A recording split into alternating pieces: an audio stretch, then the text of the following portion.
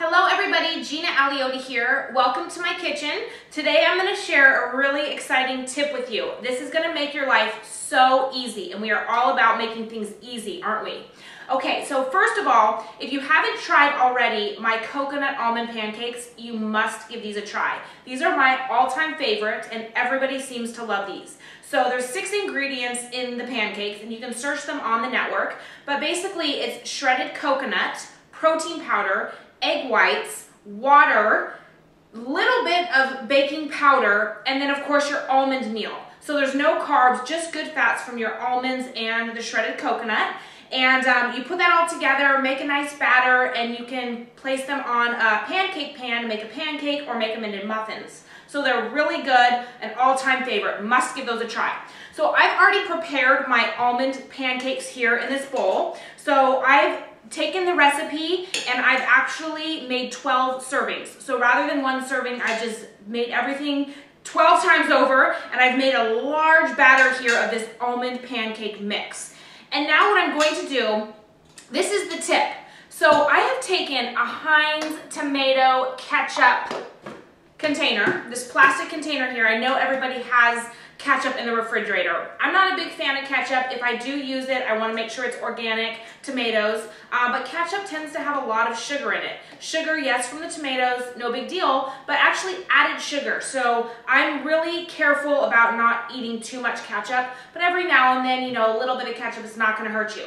So I know you have one of these containers in your refrigerator and um, either dump out the ketchup like I did or wait until you're done, save these, and we are going to use this to store our batter, our pancake batter. So whether you're making almond pancakes, your typical protein pancakes, whatever you're making, I'm gonna store the batter in this container. So I have this all cleaned out. I have my funnel here. And like I said, I have my batter of the almond pancake mix right here. And I am going to carefully pour this batter into the funnel. And it takes a little while for it to for it to drain. So you want to just hold this here and kind of allow the batter to just nicely drip into this container. And um, we're going to fill this up with the remainder of the batter.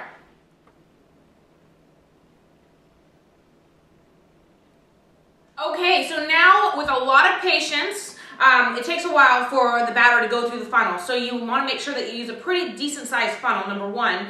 Number two is if you're really careful, you can actually just kind of pour it from the bowl and use a spoon to gently place the batter into the ketchup bottle. But either way, with a little bit of patience, you get the batter in the ketchup jar, and now you have yourself your protein pancake mix in the ketchup jar, and all you have to do is squeeze it into your pan, just like so.